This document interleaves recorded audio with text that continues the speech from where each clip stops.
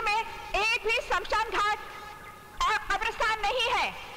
इसीलिए हम यहाँ एक ऐसा आधुनिक शमशान घाट और कब्रिस्तान बनाने वाले हैं जिसमें उसी अस्पताल से लाए और बेमौत मरे हुए गरीबों को मुफ़्त में जलाया और दफनाया जाएगा।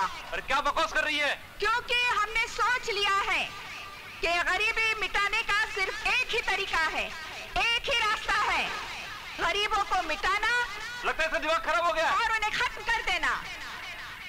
अरे देखते क्या? हो मारो इसको। ये ये ये तुम लोगों को क्या हो गया है? तुम पागल तो नहीं हो गए हो? तुम गरीब लोग साले कभी नहीं सुधरोगे।